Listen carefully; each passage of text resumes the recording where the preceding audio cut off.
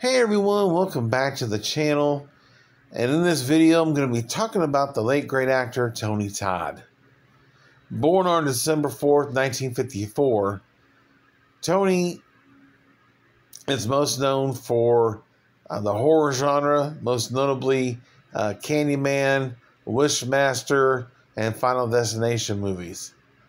But the first movie I seen him in was 1986 Platoon where he plays Sergeant Warren. And he did a great job in that movie. From there, he was in Lean on Me from 1989. He played Mr. Wright. And in the 1990s, he started a remake of Night of the Living Dead. He plays Ben. I, I like the remake. It's not as good as the original, but it's still a worthy watch. Next, he did uh, Candyman from 1992 and of course its sequels. But Candyman is what he's most well known for. Uh, he plays uh, Daniel Robitaille, uh, aka Candyman. Next, he was in 1994's The Crow, uh, and these are the movies that I've seen of his. So there are going to be some that are going to be missing because I haven't seen all his movies. But The Crow, he played Grange. Crow was a good movie. It's not as good as uh, other people uh, think it is. I mean, they're entitled to their opinion. I like this character. I like the movie. I don't think it's as good as others say it is, but that's just my opinion. In 1995, he was in uh, Candyman, Farewell to the Flesh. I like the sequel. 1996, he was in The Rock. He played uh, Captain uh, Darrow and did a great job of that. 1997, uh, I loved him in this movie, Wishmaster. Um, he played uh, uh, Johnny Valentine. I was trying to remember his name there. But yeah, great job in that movie. Uh, next up, he had uh, Candyman, Day of the Dead. Of course, he plays Candyman. I believe this one was direct to video, if I'm not mistaken. And then next he did uh, Final Destination movies where he plays the coroner or William uh, Bludworth. And the third movie, he is listed as the devil.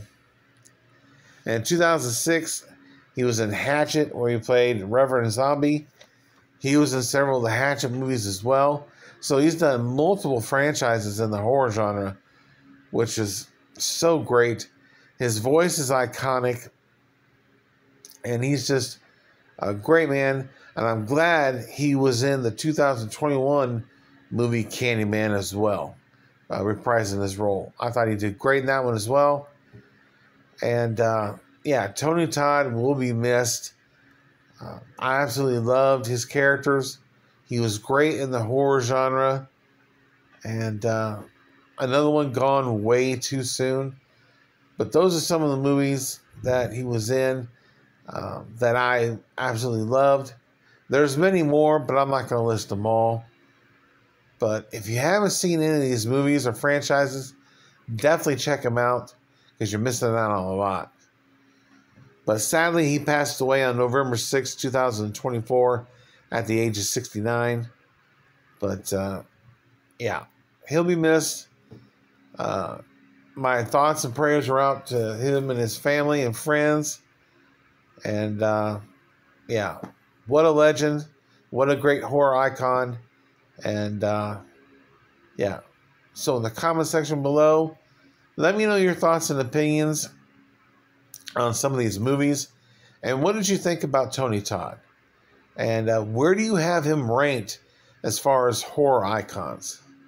For me, he's definitely in the top 10. So I don't know exactly where I'd have him in the top 10, but he's in there. But I thank you guys for watching. Stay tuned for many more movie reviews, TV show reviews, trailer reviews, top 10s, and rankings. And if you guys have any suggestion for any movie review or TV show uh, review or anything you want to see on this channel, let me know in the comment section below. But I thank you guys for watching. I'll see you in the next one.